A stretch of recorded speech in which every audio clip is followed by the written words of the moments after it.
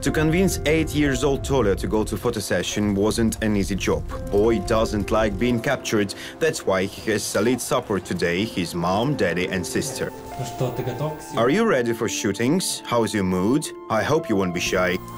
Не стесняешься? Our photographer admits that it is first time in his life he shoots disabled person, and with difficult Tolia's diagnosis cerebral palsy, it's really hard to make a good shot. So, besides the stands, Tolia is watching what's done and being taught how to work seriously. Are we going to smile? No, we're not going to smile. Are we going to be serious? No, we're going to cry. Best pictures with Tolia will be posted at his own web store where he would be able to collect some money for his rehabilitation, selling accessories and souvenirs with his artworks printed on it. Tolia's parents say that at public their kid is being a little bit shy, but at home all the talkings are only about projects. He asked me when he'll be shown and who will see him. All this stuff is very interesting for him. I didn't tell it. You did, you did. No, you're telling lies. I didn't.